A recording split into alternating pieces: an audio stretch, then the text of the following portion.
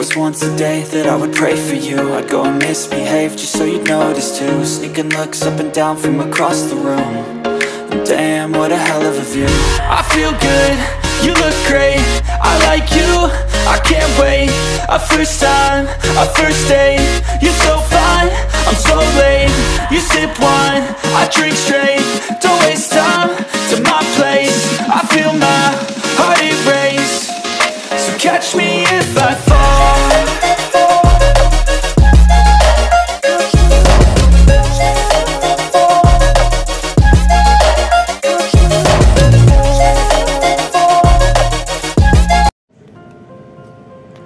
Pasangan berkahwin pasti mahukan zuriat sendiri. Untung bagi mereka yang mempunyai rezeki awal sejurus selepas nikah tidak lama kemudian terus melekat.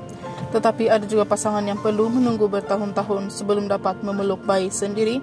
Bahkan ada pula yang terpaksa berhabis duit dan tenaga serta perlu kuat, emosi serta fizikal untuk melalui pelbagai ujian kesuburan. Ketahuilah ini semua adalah rezeki dan sesungguhnya peluang untuk hamil itu pasti ada cuma cepat atau lambat jika tiada berkait rapat soal kesehatan dan sebagainya. Demikian jawapan pelakon dan penyanyi Hana Delisha tak kala ditanya adakah dia dan suami mempunyai perancangan zuriat selepas berkahwin dua tahun lalu. Jelas Hana kepada utusan Malaysia, dia percaya Tuhan lebih mengetahui waktu terbaik untuk mereka memiliki zuriat dan dalam pada masa yang sama terbuka sekiranya dikarunia cahaya mata dalam masa yang terdekat. Dalam pada itu, pelakon anda itu takdirnya tersebut juga mengakui tidak dapat lari daripada desas-desus berhubung keadaan rumah tangganya kerana jarang berkongsi perihal suami di media sosial. Banyak saja kabar angin saya dengar ada yang ingatkan hubungan kami bermasalah, ada juga yang ingat saya belum berkahwin lagi.